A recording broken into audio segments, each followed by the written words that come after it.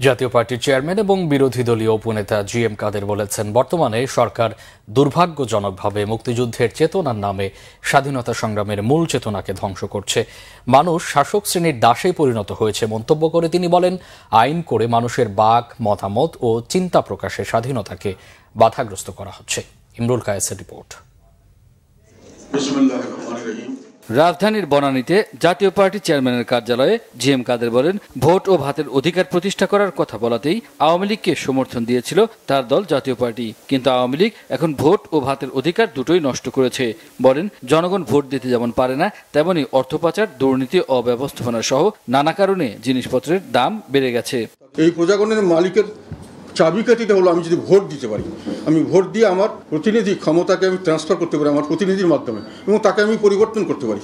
সেই বিষয়টিকে বাধাগ্রস্ত করে আসলে স্বাধীনতা সংগ্রামের যে মূল চেতনা, সেটাকেও আমি মনে করি ধ্বংস করা হচ্ছে। দুর্ভাগ্যের বিষয় হলো, এই সবগুলি কিন্তু হচ্ছে আবার স্বাধীনতা যুদ্ধ এবং স্বাধীনতা এবং মুক্তিযুদ্ধের চেতনা এইসবের নামেই এটা করা হচ্ছে। চিন্তা প্রকাশের স্বাধীনতা, মতামত প্রকাশের স্বাধীনতা বিভিন্নভাবে এগুলো তো বাধাগ্রস্ত করা হচ্ছে। আইন কানুনের মাধ্যমে অনেক কিছু করতে দেওয়া হচ্ছে না।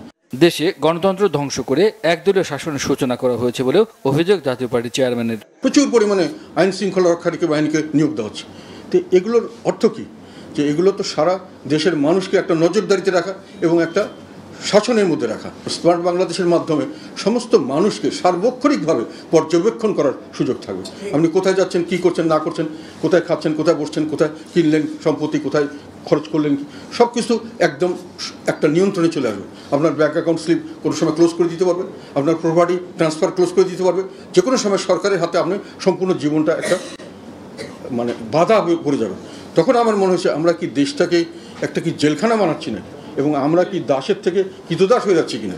সুষ্ঠু ভোটের পরিবেশ নিশ্চিত করতে সবাইকে এগিয়ে আসার আহ্বান জানান তিনি। সেটা কি আপনারা সেইভাবে ইমরুল কায়েস বাংলা ভিশন ঢাকা।